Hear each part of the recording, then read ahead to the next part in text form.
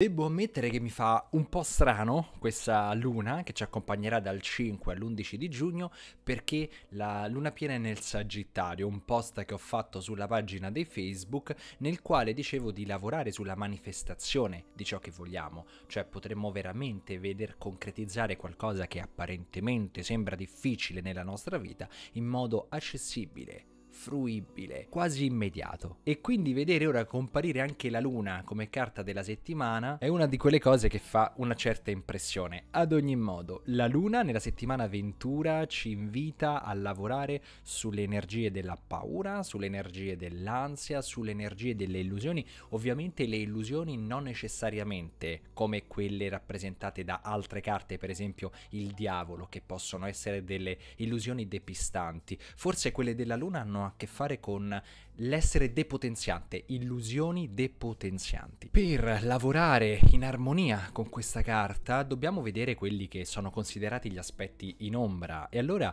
è opportuno lavorare sulle emozioni più cupe della nostra vita. Ecco, immettere delle energie più solari, più estroverse, più distese, sarà un'esperienza liberatoria e trasformativa, soprattutto se provieni da un periodo già cupo di suo oppure da uno di quei momenti dove non ti senti capito, ti senti come se stessi lottando contro tutti e contro tutto, perché effettivamente nessuno è in grado di capirti fino in fondo. Ora ricordati che quando questo è lo stato mentale probabilmente c'è qualcosa che non va, ma non va in te. No, ne, non è che anche io ce l'ho con te, è un dato di fatto. Cerca semplicemente di appianare i toni, di cercare anche di capire perché l'altra persona, che può essere un partner, può essere un collega, può essere il datore di lavoro, ti sta dicendo quello che ti sta dicendo, il che non significa necessariamente entrare in un discorso simpatico, ma almeno empatico. Empatia sempre sempre sana perché l'empatia è comunque un'emozione, se dovesse essere acuita va a sfruttare la parte ombra della luna, invece noi dobbiamo evitarlo. Quindi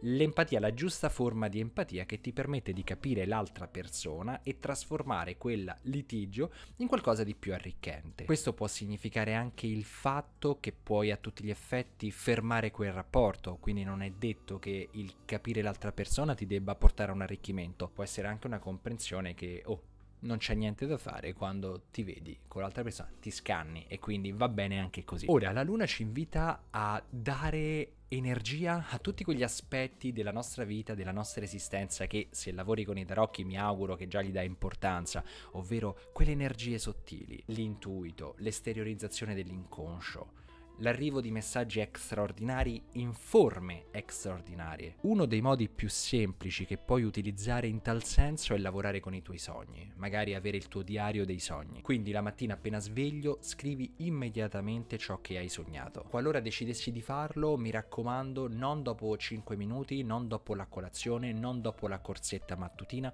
ma appena sveglio. Questo perché dopo 2 o 3 minuti già inizi a perdere dei pezzi rispetto a ciò che hai sognato e quindi il tuo scritto non sarà più valido. Ora, scrivere i tuoi sogni ti permette di avere un ancoraggio con il tuo inconscio o per meglio dire puoi esteriorizzare l'inconscio. Potresti non capire immediatamente l'importanza di ciò che hai scritto, ma appunto lo hai scritto, quindi nel giorno ci puoi tornare più volte per vedere se ciò che hai prodotto in qualche modo ti permette di capire dei blocchi o delle energie che non stanno andando da un punto di vista diverso e quindi sicuramente arricchente. Come posso fare maggiore chiarezza sul mio progetto è la, il quesito sul quale dobbiamo lavorare per questa settimana.